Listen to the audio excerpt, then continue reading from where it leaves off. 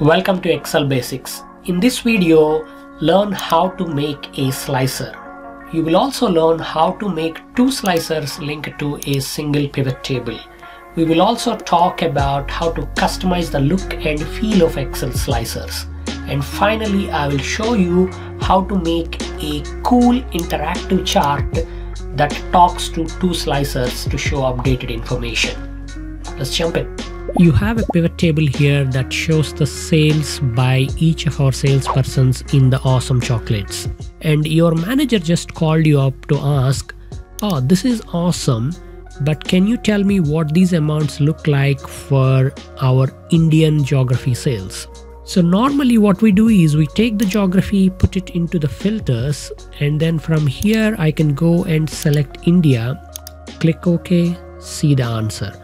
But just as you prepare this report and email the file to your boss, she called up again and says, Wait a sec, I just don't want to see India alone. Would it be possible for me to see India or New Zealand or Australia? Now you're in a conundrum. Do you make three pivot tables or one? This is where Excel slicers come in. Slicer is a powerful interactive way to talk to your pivot tables, change what is presented with a simple click. Let's build a slicer. I'm going to take the geography and drop it from the pivot table and instead of putting it in the filters, right click on the geography and add it as a slicer. This will give you a box like this but the beauty of this is it will now give you an interaction ability. You can click on any of these buttons. So to see the India sales, you just simply tap on India and to see New Zealand, click on New Zealand or Australia or Canada.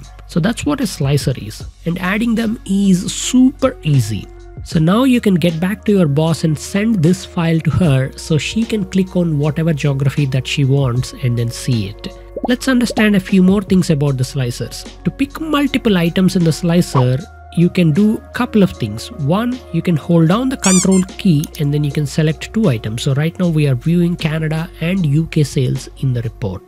Alternatively, you can also click and drag if you want to select a continuous list of items. So from Australia to India, just click and drag. To clear away the selection and then see everything, just click on that little filter clear button and it will select all the items so your pivot table will show everything. Let's understand how to customize this slicer.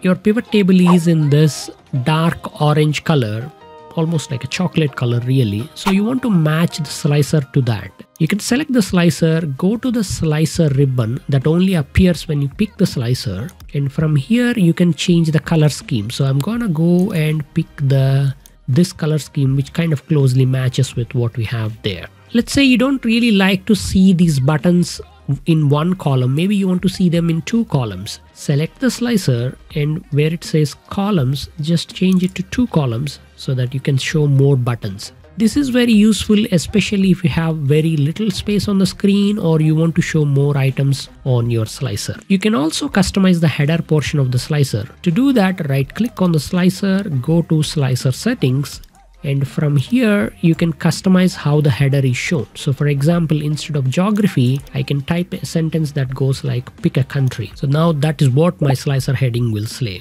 Alternatively, you can also go here and uncheck the display header option so that there is no header, just the buttons are shown. This can be very useful in certain situations. You can put any number of slicers on a pivot table. So for example, on this pivot table, we have a slicer that is telling me which country to show I can also add a slicer on my product. So now we have two slicers, one for country, one for product. Let's quickly change this to two columns so we can see a few more products. And from here, I can now, for example, see what is happening for India 50% dark bites. So this is how we are selling. This creates for such a powerful interactive reporting for your data. Not only a slicer filters the pivot table, but if you were to make any charts on top of the pivot table, they get filtered as well. This is an easy and powerful way to create an interactive chart. Let's do this. We go to insert, let's click on a column chart and we get this nice little column chart. I'm gonna quickly adjust everything and here we have a very simple interactive chart. I can see how much amount is coming from each of our salespersons for any combination. So for example, I can pick Australia, Canada, and India, and then I can pick all of our dark chocolates to see how these people are doing, what is their total amounts in that selected geography and product groups. Powerful, isn't it?